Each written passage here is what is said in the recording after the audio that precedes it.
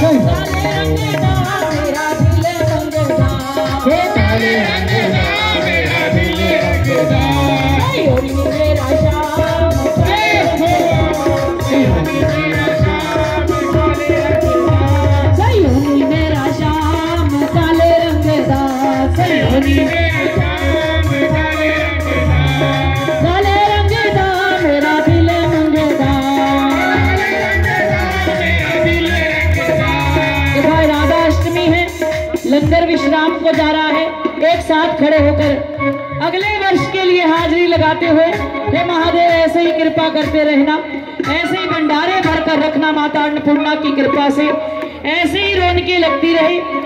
छह तारीख से चौदह तारीख तक श्रीमद भागवत कथा हमारे बड़े भाई पिंकी जी के आवास पे होने जा रही है।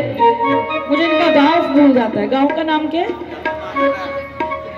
एमा मांगे श्री राम कथा और कथावाचक अंकुर जी, जो बड़े सुंदर कथा करते हैं, उनके मुखार से आप ये कथा श्रवण करने जा रहे हैं। छह तारीख से लेकर चौदह तारीख श्राद्ध पक्ष में, और पहली तारीख से लेकर सात तारीख तक श्रीमद् भागवत कथा पठानकोट, पुरानी एसडी कोर्ट में भी आरंभ हो रही है। वहाँ भी आप साधारण आमंत्रण है।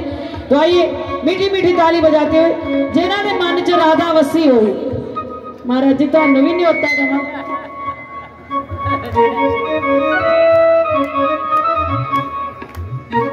कुर्सियाँ वाले बड़े ही किस्मत ना कुर्सी मिली